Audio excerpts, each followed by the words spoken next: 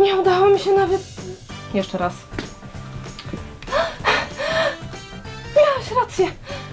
Nie udało mi się dobiec nawet do kominka. Na pewno nie dałbym rady przebiec stadionu.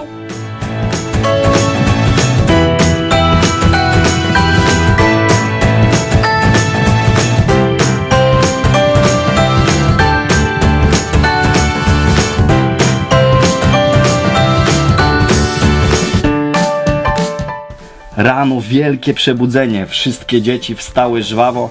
Pan Marchewka myśli sobie, czy mnie dzisiaj ktoś poskrobie? Gdy się dzieci zabawiały w swym pokoju z zabawkami, pan Marchewka zwinnie wskoczył do pudełka z kanapkami. No i rzecze, drogie dzieci, jestem waszym przyjacielem. Jedźcie mnie codziennie z rana, jam marchewka, król śniadania.